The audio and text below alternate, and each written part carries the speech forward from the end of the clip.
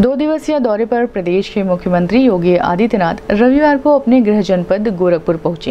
Helicopter के माध्यम से मुख्यमंत्री योगी आदित्यनाथ रविवार को लखनऊ से सुल्तानपुर, फिर करीब एक बजकर पाँच मिनट पर सर्किट हाउस पहुँचे, जहाँ पर उन्होंने जनप्रतिनिधियों एवं जिला पंचायत सदस्यों के साथ बैठक करने के बाद बाबा योगी गंभीरनाथ प्रेक्षागृह में विभिन्न परियोजनाओं का लोकार्पण और शिलान्यास किया।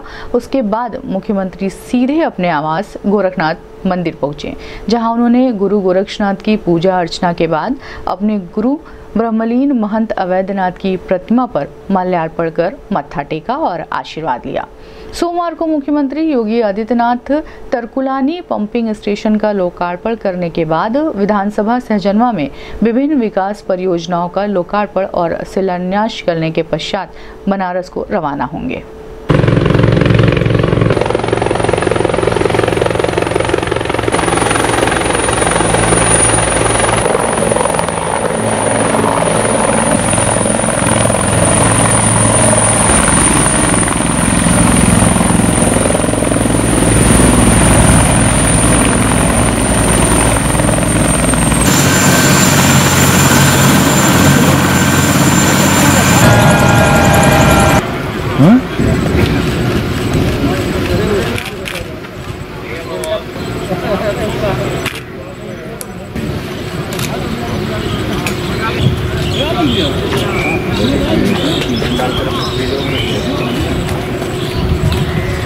Vamos fazer.